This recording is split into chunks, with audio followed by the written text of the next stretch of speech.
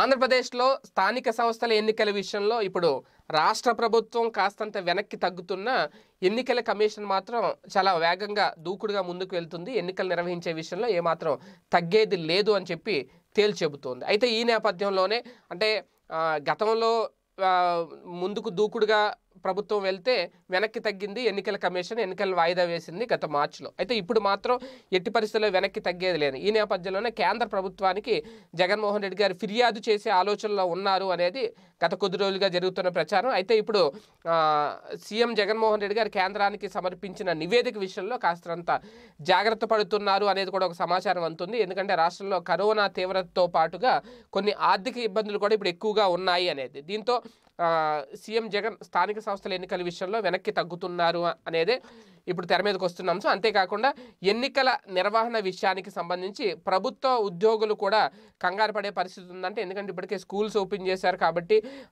టీచర్లకి వీళ్ళందరికీ కరోనా ఎప్పుడైతే సోకుతుందో దీన్ని దృష్టిలో పెట్టుకొని ప్రభుత్వంలో ఆందోళన కూడా మొదలైంది అనేది. ఈ నేపథ్యంలోనే ప్రభుత్వ ఉద్యోగులు కేంద్ర ప్రభుత్వానికి ఒక లేఖ రాసి ఆలోచన చేస్తున్నారంటే. మొత్తం అధికారులు ప్రభుత్వ ఉద్యోగులు అందరూ కలిసి రాష్ట్రంలో ఎన్నికల నిర్వహణ అనేది ఇప్పుడు సాధ్యం కాదు కాబట్టి కేంద్ర ఎన్నికల సంఘం అర్థం చేసుకొని రాష్ట్ర ఎన్నికల సంఘానికి ఇమీడియట్గా ఆదేశాలు ఇవ్వాలి కొన్ని రోజులు ఆగాలి అని చెప్పి కోరుతూ అనేదే ఇప్పుడు ప్రభుత్వ ఉద్యోగులందరూ కూడా ఒక లేఖ రాయబోతున్నారు కేంద్రానికని. దీనికి సంబంధించి త్వరలోనే ఉద్యోగులందరూ ఒక సమావేశాన్ని నిర్వహించుకొని చర్చించుకొని లేఖ ఎలా రాయాలి అనే దాని మీద కూడా ఒక స్పష్టతకు వచ్చే అవకాశం ఉంది అనేది ఇప్పుడు మనకు అందుతున్న సమాచారం.